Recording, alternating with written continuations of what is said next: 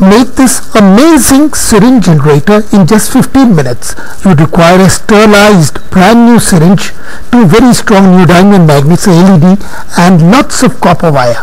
First remove the needle part of the syringe which you are not going to need.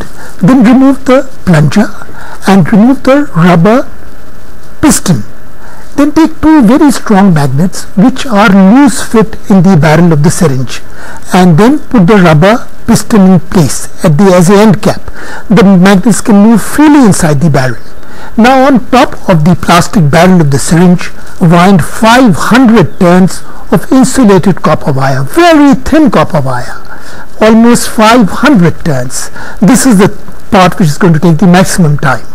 Now take the two ends of this insulated copper wire and remove the insulation from both these ends and attach these copper wire ends to the two leads of a LED. This is because the LED draws very little current.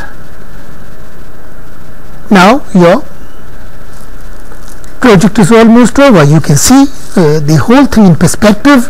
Now if you take the, if you hold the syringe in one hand and move it sideways, you would find that the LED lights up.